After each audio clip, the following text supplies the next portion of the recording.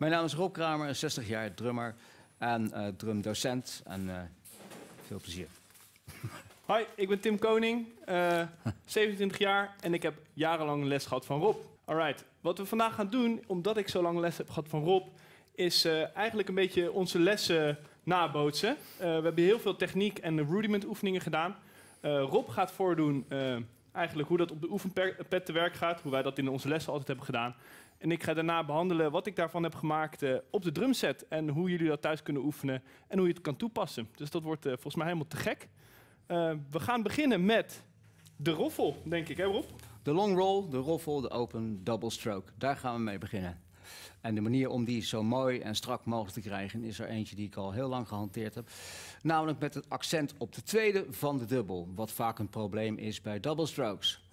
Uh, de manier om dat te oefenen op je practice pad, wat dus later door Tim vertaald gaat worden naar de drums, is op deze manier 1, 2, 3, 4, 1, 2, 3, 4, 1, 2, 3, 4.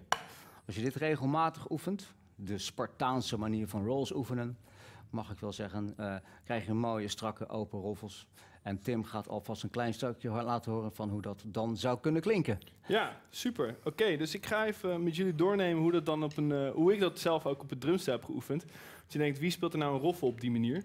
Nou, dan ga ik hem heel langzaam spelen. Misschien kunnen jullie thuis allemaal live meespelen. Oké, dus hoe Rob al vertelde is dat je eigenlijk uh, een langzame roffel doet en dan een maat een snelle roffel. Als ik tot vier tel, krijg je 1, 2, 3, 4. Dan spelen we één maat. De, de roffel zo. 1, 2.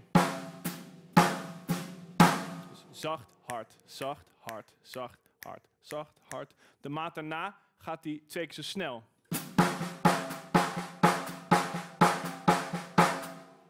Het achter elkaar plakt, krijg je dit.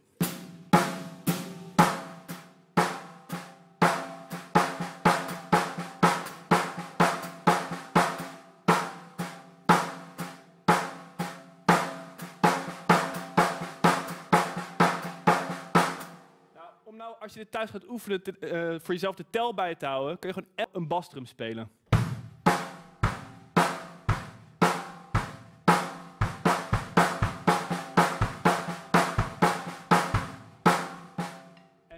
Enzovoorts. En dan denk je misschien, hé hey pannenkoek, uh, hoe speel jij die roffel? Dat gebruik je nooit. Maar het goede is, dat als je dit zo oefent, krijg je nooit meer de beginnersroffel. Dat je daar maar één van de twee hoort. Want hoe sneller je dit gaat spelen, hoe dichter het volume van die slagen bij elkaar gaat komen als het goed is. En dan kan je ze ook over de tom spelen. Dus als we het tempo een beetje opvoeren...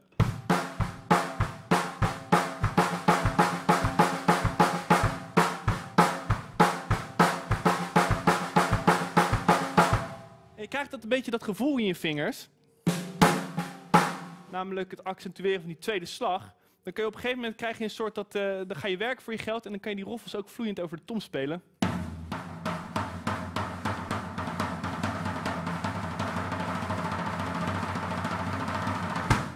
En dan kan je ze ook ineens tof over die tom spelen. En ja. daar hadden we nog een vet groefje bij bedacht, denk ik. Uh, precies. Um, over de toms klinken ze de roffels heel te gek als je ze inverted speelt.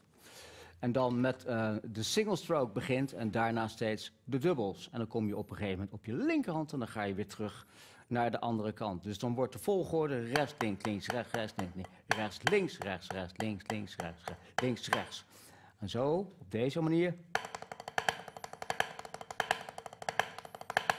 kan je een mooi rondje maken uh, over, je, over je hele set. Met als voordeel dat dan nu de dubbels wel goed klinken. Uh. Ja. Kun je die misschien nog eens heel langzaam uh, ja. doen? Rechts, links, links, rechts, rechts, links, links, rechts, links, rechts, rechts, links, links, rechts, links, rechts, links, links, rechts, rechts, links, rechts, links, rechts, rechts, links, links, rechts, rechts, links, rechts. Ja, precies. Als je dan op je floortom begint, wat sowieso al een niet zo vaak toegepaste volgorde is, krijg je een hele aparte roffel van je rechterkant naar de linkerkant van je drumstel. Ja. Zal, en, ik, hem, uh, zal ik hem eens... Uh... Nou, heel graag. Alright, dus dan ga ik uh, voor, voor de kijker thuis, wordt mijn hi-hat wordt de tel. En En dan ga ik de inverted roll spelen, zoals Rob hem net uitlegde.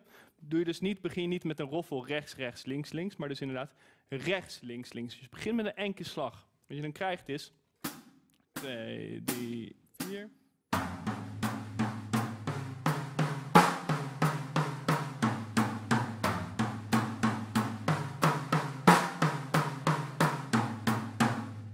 Erg langzaam speel.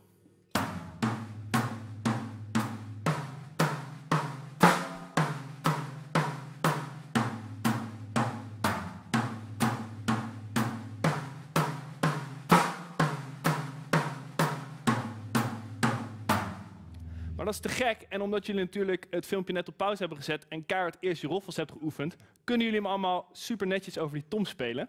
Dus dan krijg je 1, 2, 3, 4.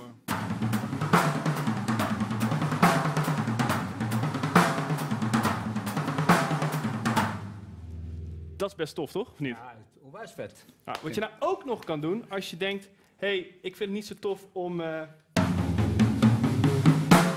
die snare daar met mijn linkerhand te spelen, maar ik wil hem graag met mijn rechterhand doen, dan kunnen we nog een basdrum tussen proppen.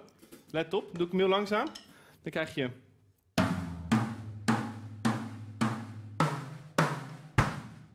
Daar komt de kick.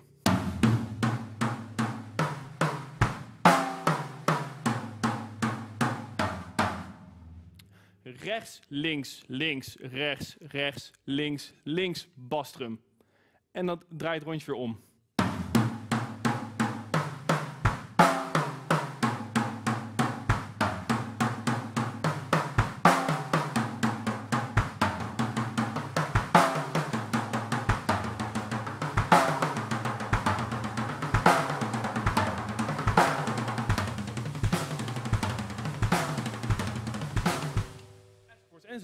Toch?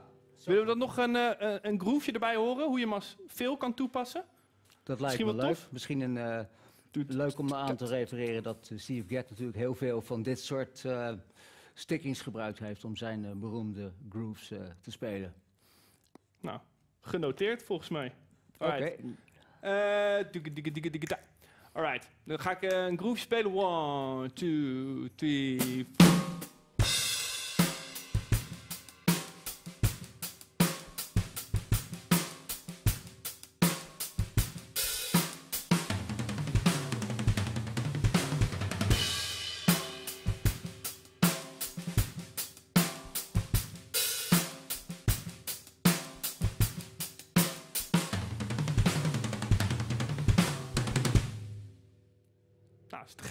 Denk ik zo. Jazeker, je kan, je kan hem dan natuurlijk ook nog eh, korter spelen. Hè? Dus rechts, links, links, base, rechts, links, links, base, rechts, links, links, base, rechts, links, links, base. En als je wil eindigen, is het leuk om met twee bases om te eindigen.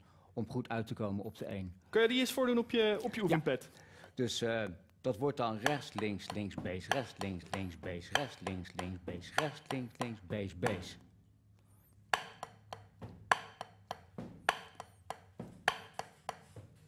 Dus dan blijf je de hele tijd op de rechterhand.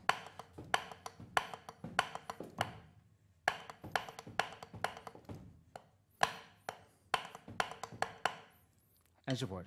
Dus dat is rechts, links, links, Een base. groepje van vier slagen steeds. Dat is hem dan toch? Indeed, ja.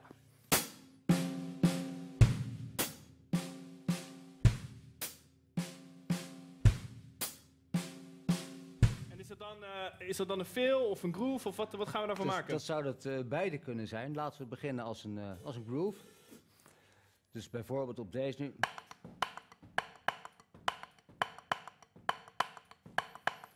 Zowel kort als lang. Je kan dus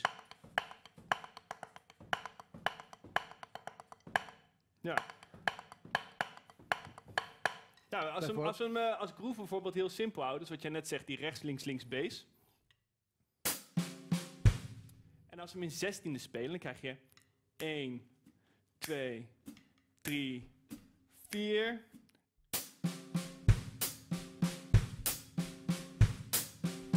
Eén, twee, drie, vier.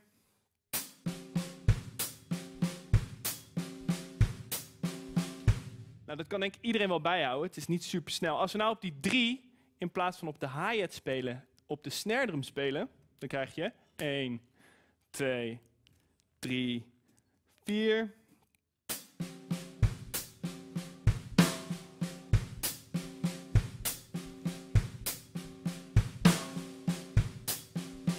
Eén. Dus als je hem iets sneller doet, 1, 2, tikken, tikken, tikken, tikken.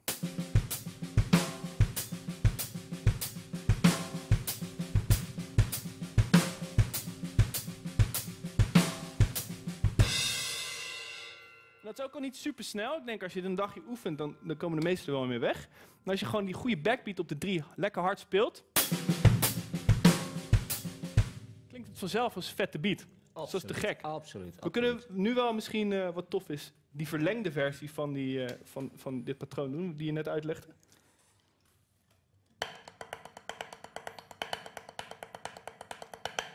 Nee, die eh, rechts en links met die...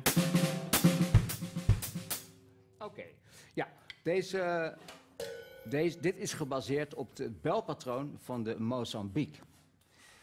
Dat gaat zo. 1, 2, 10, 4, 1, 2, 10, 4, ta, ta, ta, ta, ta, ta, ta, ta. 1, 2, 10, 4, 1, 2, 10, 4, 1.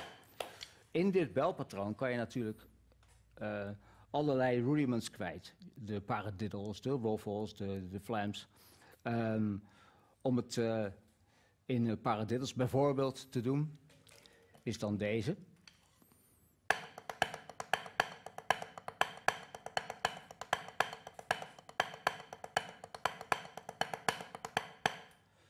Of in groepjes van zes met de six-stroke.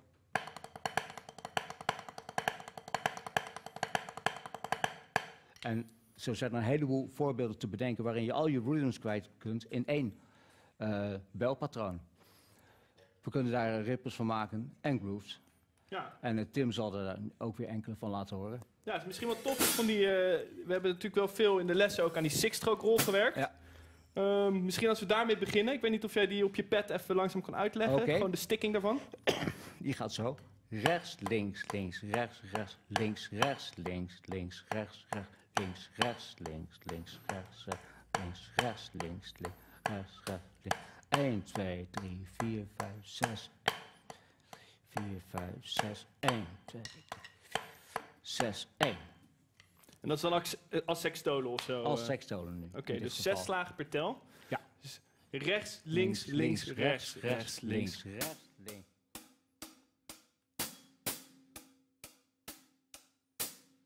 Dat is het idee dan Dat toch? is het idee. Ja, ja. Ja. Dus zoals ik net ook die, eh, deze heb gedaan. Zouden we ook bijvoorbeeld dit met een six-stroke rol kunnen doen. absoluut.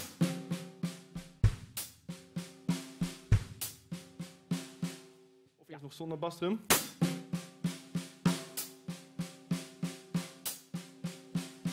Rechts, links, links, rechts, rechts, links, rechts, links, links, rechts, rechts, links. Dan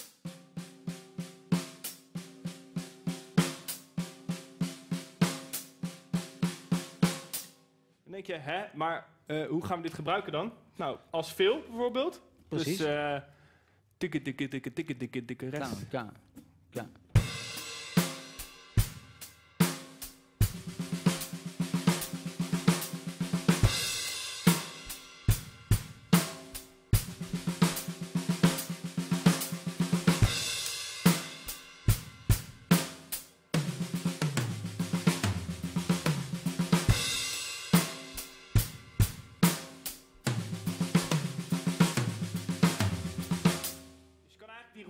Die die, die, die, Rob dan op de pad uitlegt, die kun je eigenlijk om zelf te oefenen of te gebruiken altijd wel in een feel of in een groove verwerken. Ja. Ehm, als je nou zoiets hebt, die rol die loopt lekker. Dan kan je gewoon gaan kijken of je, of je accentjes kan gaan spelen op de toms, zoals ik net deed.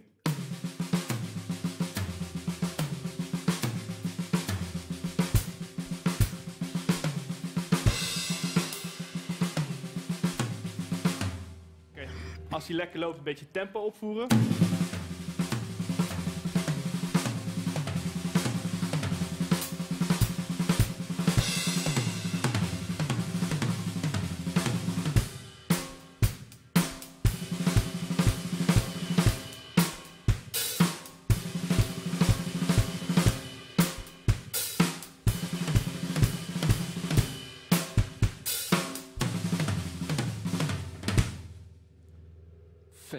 Ja. Vet. En het blijft eigenlijk, alles, alles wat we hier doen vandaag is eigenlijk als je zorgt dat die roffel lek is over de toms. Dan kun je ze gewoon lekker uittrekken en dan eh, wordt het een feestje in plaats van een eh, oefening, toch? Ja, Denk ik. absoluut. Dat is eh, het leuke aan de rudiments. Als je ze creatief gebruikt, eh, kan je daar eh, alles, alles, wer- werkelijk alles bij doen. Ja, en ik weet ook nog wel wat ik vet vond, wat je net al vertelde, is dat je die six-stroke roll dus in het Mozambique-patroon kan verwerken. Juist. Als, kunnen we die nog even langzaam... voordat Ja? ik hem, eh, Zal ik hem nog even spelen?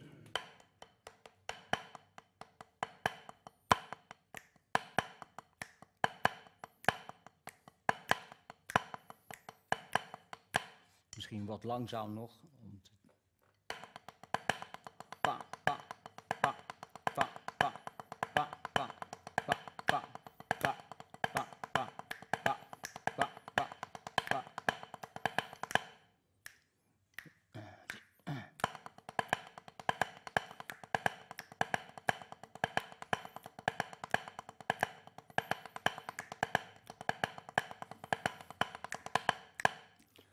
Ja, en heb je eigenlijk au- automatisch al met een rudiment een super vette fill volgens ja, mij. Ja, ja, ja. Dus we hadden net eh, een six-stroke roll als fill gebruikt. En als we nu dit patroon ervan maken, dan krijg je bijvoorbeeld...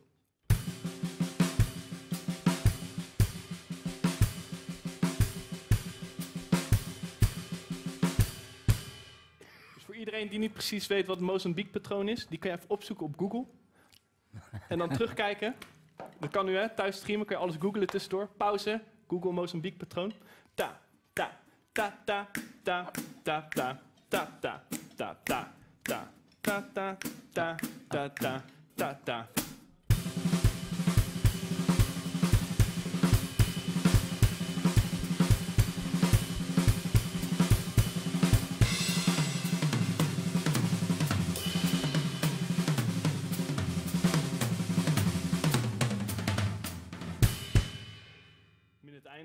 Verder was lekker. Dus dat is te gek. Dus eigenlijk van een rudiment, als je, als je dat dynamisch op een kit speelt en je roffels zijn lekker over de toms, dan heb je automatisch een vette film. Absoluut, absoluut.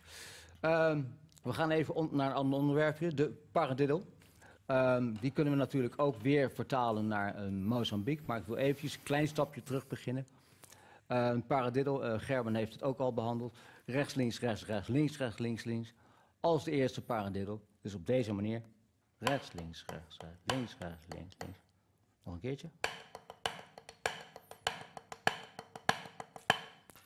Dan zijn er nog de tweede, derde en de vierde. Eh, rechts, links, links, rechts, links, rechts, rechts, links is de tweede. Derde. Rechts, rechts, links, rechts, links, links, rechts, links. En de vierde. Rechts, links, rechts, links, links, rechts, links, rechts. Eh, wat is nou, vind ik, het leuke aan paradiddles?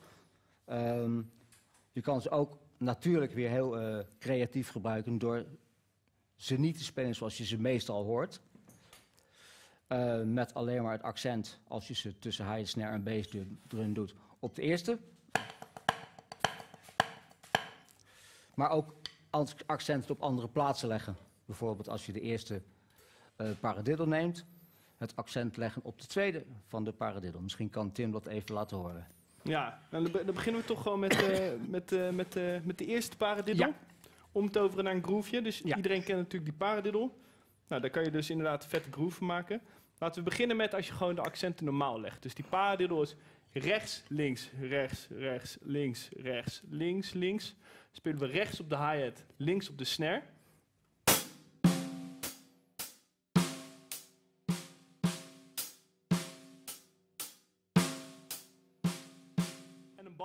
Op de allereerste hi-hat.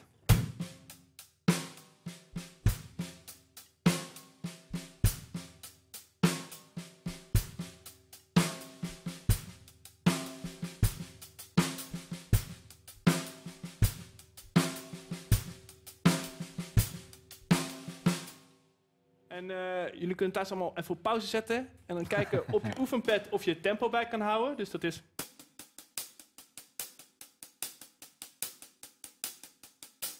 Dan verplaats je gewoon je linkerhand naar je snare drum.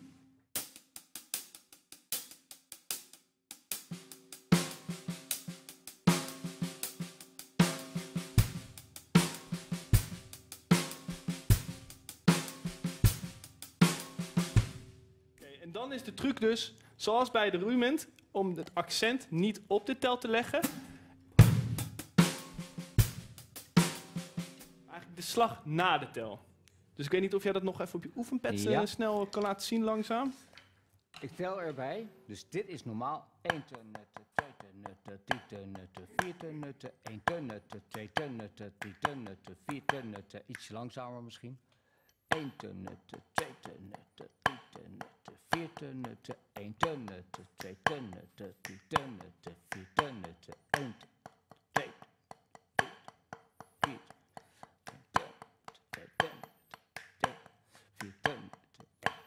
stikking blijft dus rechts, links, rechts, rechts, links, rechts, links, links. Ja, alright.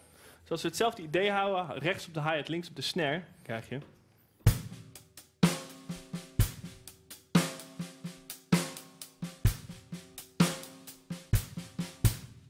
Als je mee blijft tikken in je woonkamer... 1, 2, 3, 4...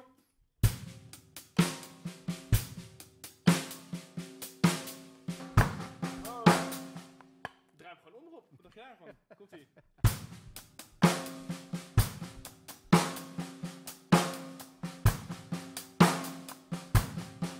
Ja, en als je nou denkt, huh, dit ga ik nooit gebruiken. Als je het even een tijdje oefent en je speelt hem ietsje sneller, dan heb je de vrijheid om ineens midden in je groove dingen om te gaan draaien. Dus,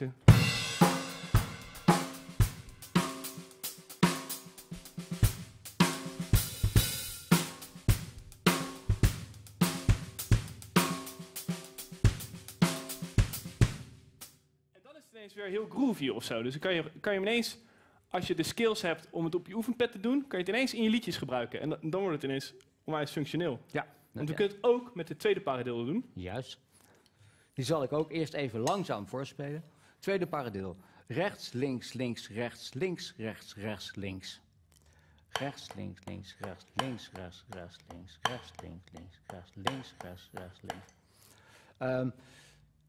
Eh, het, de paradiddels uit je hoofd weten vind ik altijd heel erg prettig, omdat je dan, als je communiceert met elkaar over eh paradiddels, dat je heel snel kan zeggen, nou, dat is de tweede, derde of vierde of de eerste. Ehm, er zijn ook mensen die zeggen, de tweede paradiddel die bekijk ik eh, vanaf de eerste op de tweede slag begonnen, of, of zo. Maar dat vind ik zelf wat Dit ingewikkeld. klinkt als wiskunde. hoor. Ja joh, dus het is handiger om dat even uit je hoofd te leren. Eerste, tweede, derde en de vierde Maar je kan nu gewoon pauzeren en even googlen. Tweede paradiddel. Knip. Op de eerste bladzijde van het eh, boek van George Lawrence Stone, Stick Control, staan ze, staan ze alle vier trouwens al. Dat is geloof ik uit 1938 of zo. Dus eh, dat is wel even in gebruik. Eh, maar we hadden het over, eh, in de paradiddle over beat displacements. En dan zal ik de, eh, het accent leggen van bij de tweede paradiddle naar de vierde slag. Dus eerst is het 1, 2, 3, 4. 1, 2, 3, 4. 1, 2, 3, 4. 1, 2, 3, 4. 1, 2. Ja, vet. Dus je krijgt...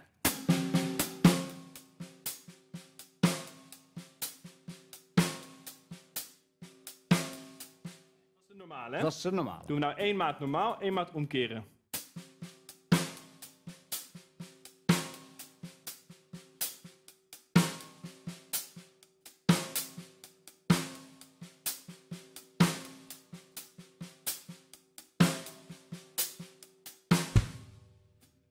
Drie, vier. Dus dan maak je eigenlijk één maat normaal, één maat omdraaien. Als we het tempo weer ietsje hoger leggen. 1, 2, 3, 4.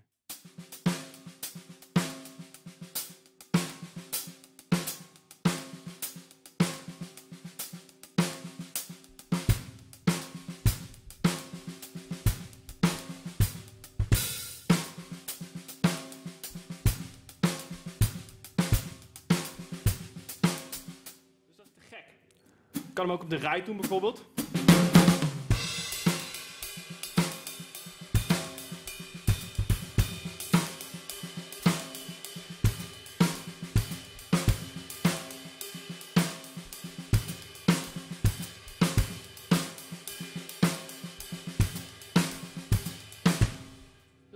En, en, en ineens super groovy. Wat je ook nog kan doen, is eh, extra basstrums toevoegen op bijvoorbeeld je rechterhand. Dus normaal klinkt die zo, je paradiddle.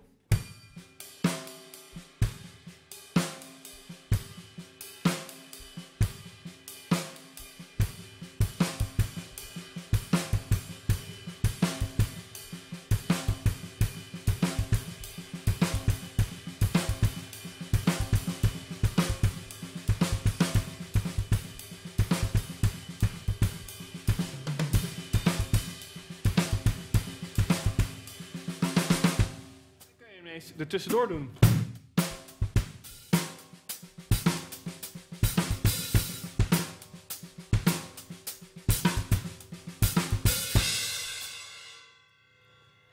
En dat kan dan natuurlijk ook met de derde en de vierde paradiddles. Maar dat is misschien wat langer om eh, op dit moment over uit te wijden. Ja. Ehm, we hebben eigenlijk nog één ding eh, wat ik vaak in mijn les gebruik, eh, niet gebruikt. Ehm, de roffel van 5, 7 en 9 en, en 15. Ehm, over het algemeen wordt de roffel van 5 natuurlijk zo gespeeld.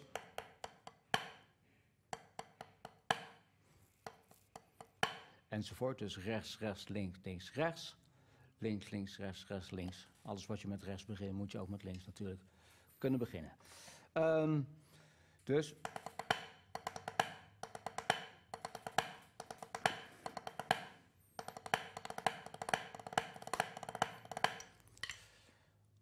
Te gebruiken. Onder andere in breaks en in eh, ritmes natuurlijk. Misschien kan Tim daar eh, wat van laten Ja. horen. In een eh triole shuffle groove, zoals Tim zo vaak natuurlijk speelt. Oh. Ik dacht eigenlijk in de rechte groove. Kan ook. Maar het is misschien wel mooi om een soort concluderend einde van het verhaal ervan te maken. Ik denk wat belangrijk is, is dus alle paradeels, alle techniekoefeningen die je hebt, kan je gewoon toepassen op je kit. En dan wordt het gewoon super vet om te gebruiken. En heel erg nuttig ook. Ja. Dus bijvoorbeeld de roffel van 5.